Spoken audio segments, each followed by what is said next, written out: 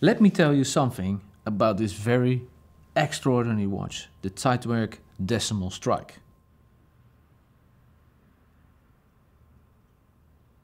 You would say, uh, Zeitwerk Decimal Strike? What does it mean? You're talking about the minute repeater, which has the decimal strike? No, not this very special watch.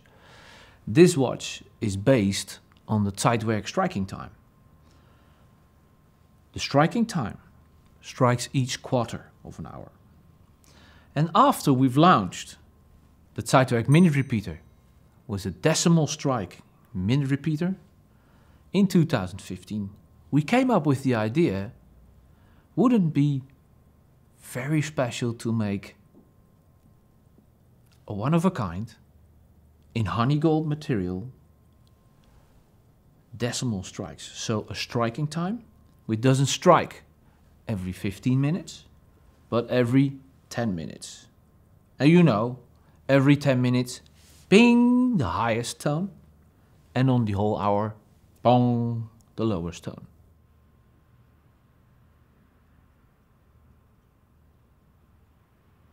We always wanted to try different materials in the striking time.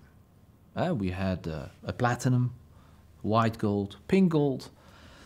Uh, my wish was to make one in honey gold. Different sound, different material.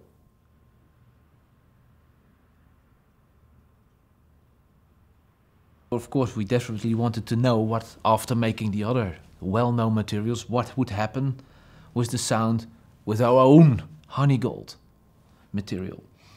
And if you would ask me, yeah, how does it sound like? It's of course difficult to do for me.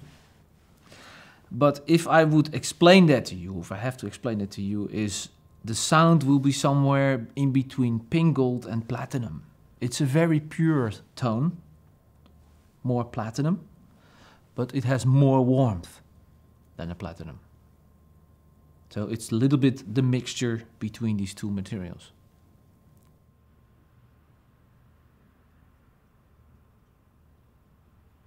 Let me show you some details on the dial side of the watch.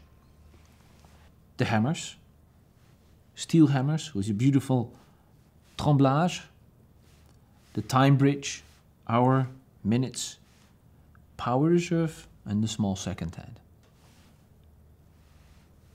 Outside you see the gongs. And of course, you can switch it off. For example, at night and if you push this button, it's switched off. You see the both hammers go in the upright position. If you activate, they jump down and you will hear one strike as a signal that it's activated. Let us take a look on the movement side. So here you have the balance wheel and of course the constant force escapement, which is released every 60 seconds to move the discs, to change time, and to recharge that little hairspring, which is powering the escapement. And this all is powered by the big, strong mainspring, which is in this barrel.